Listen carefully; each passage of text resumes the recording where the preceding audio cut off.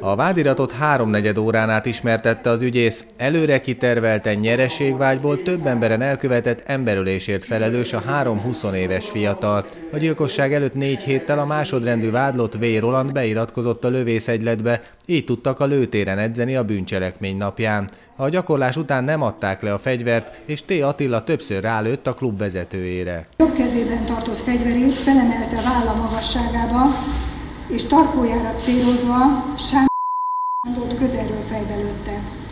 A sértett összerogyva egy raklapra dőlt, de Roland vádlott látta még él, odaszólt társának, még lőni kell. A zsákmány összepakolása közben azonban meglepte őket egy másik egyesületi tag, T. Attila őt is lelőtte. Akadályom keletkezett a fegyverem, és azt a töltényt visszaraktam a tárba, és mikor Roland már nem lőtt, én oda mentem a második sértethez, és, és hátba lőttem.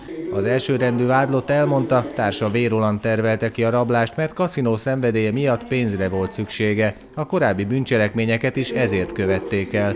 T. Attila tettét megbánta, de magyarázatot nem tudott ráadni. Én mondtam a rendőrségen azt, hogy az vonzott, hogy nem lesz sablonos az életem, valami újdonságot fogok csinálni. És ezt így is gondolta? Most már így utólag nem. Szerdán a rendőrök és a tanúk meghallgatásával folytatódik a lőtéri kettős gyilkosság büntetőpere, péntekre pedig már ítélethirdetés várható.